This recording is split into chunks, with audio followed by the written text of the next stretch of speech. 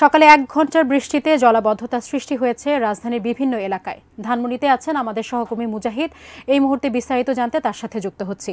মুজাহিদ, কিছুক্ষণ আগের খবরে আপনি আমাদের সাথে যুক্ত হয়েছিলেন। আপনি ছিলেন তখন গ্রিন রোডে। আমরা কিন্তু সেখানকার পরিস্থিতি দেখেছি এবং সাধারণ মানুষের ভোগান্তিও দেখেছি।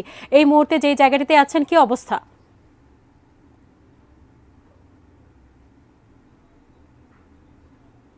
ধন্যবাদ আপনাকে। আমি কিন্তু সকালে গ্রিন রোডের যে জলবদ্ধতা সেটা কিন্তু দেখিয়েছি। সেখানে কিন্তু আসলে অনেক জলবদ্ধতা এবং সাধারণ মানুষের ভোগান্তির কথা বলেছিলাম।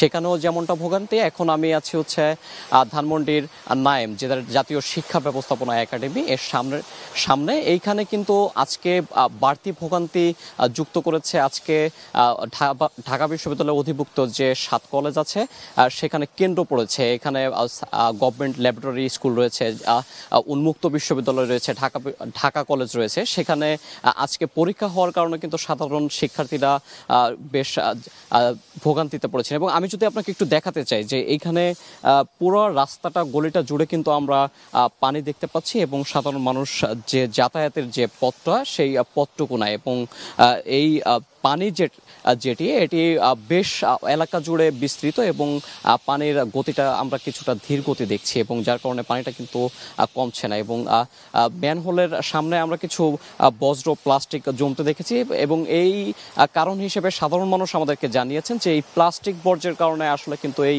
ভোগান্তিটা বেশি এবং রাস্তায় গলিতে যে পানিটা আছে সেই পানিটা কিন্তু আসলে প্রচণ্ড রকমের বিষাক্ত এবং পানিটা কালো আকার ধারণ করেছে। আমরা সেটিও দেখতে পাচ্ছি এবং সাধারণ মানুষ যারা আছেন তাদের সাথে কথা বলেছি। আসলে এই পানিটা এমন দূষিত যেটাতে সাধারণ মানুষ যেতে আসলে খুব ভোগান্তিতে আছেন।